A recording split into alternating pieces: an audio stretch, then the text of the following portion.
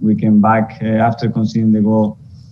We showed how much we wanted. Uh, we created some situation, and after halftime, we corrected a few things. We came back really strong in the game, scored a good goal, and when we had the best moment, uh, again we shoot ourselves in the foot, and then obviously it makes it really hard.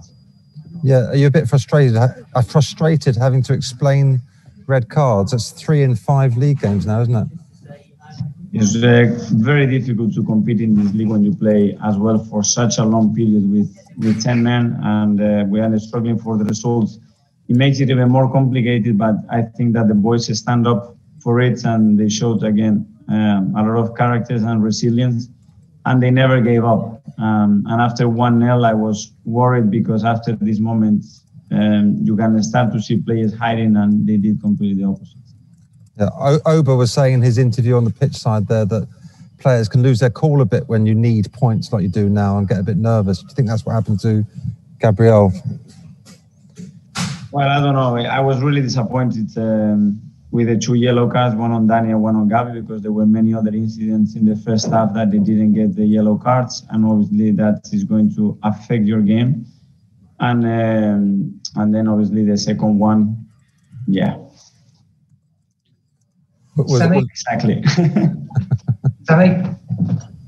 Hi, Mikel. I, I, I, as you said, it's only it's only a draw, but could that result and the manner of the result, given that you had to, you know, you had to show a lot of courage there in the second half, could that be I don't know one of the one of the most important results of your season, one that can one that can galvanise you and something tangible to actually hold on to.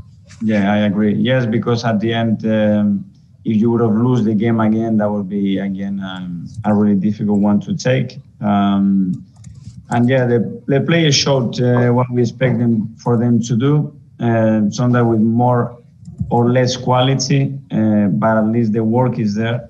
I saw all the players that were they weren't participating and they were on the stands shouting and being right behind the team and leaving the game with them, which is a really a strong signal as well. And I'm really pleased with that as well. Dan from Sun.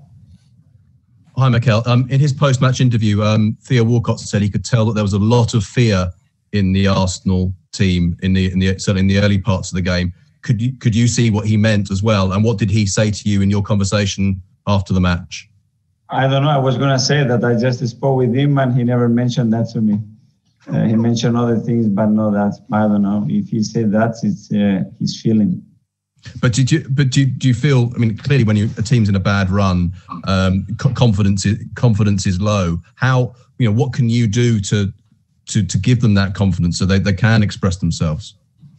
just to play with freedom and to enjoy the profession as well and uh, and be accountable when you go on that pitch that you do your best and then there are a lot of things that we cannot control and, and try to protect them as much as possible and give them comfort but uh, yeah you see there are four or five situations in the first half we are around the box we are inside the six yard box to finish the action it should be a goal and it is lacking but in the second half, Auba scored, and hopefully this unlocks a little bit because individually is a player that he needs that moment, and um, and hopefully things will change, like uh, Sammy said before. Charles. Hi, Mikel. I just wanted to pick up on that. Actually, you mentioned it there about Auba scoring that goal. I mean, what can that do for his season? The fact he was also open play as well, the first goal for, since the game against Fulham hopefully he's going to change everything dramatically and he's going to start to score every game uh, because this is what we need at the moment. Uh, we need the points. In order to do that, we need to score many more goals and uh, and be more efficient when we have the chances. So I think he was going to make him um, really good. You saw the reaction when he scored it. I mean, have you seen a change in him already in the, in the changing room or just that sort of weight coming off his shoulders after a, a goal like that? I don't have to to to see it, I'm sure that uh, it's going to take a lot of pressure off him and and it's going to release him as well. Thanks, Mikel. Thank you. Thanks, everyone. Thank you.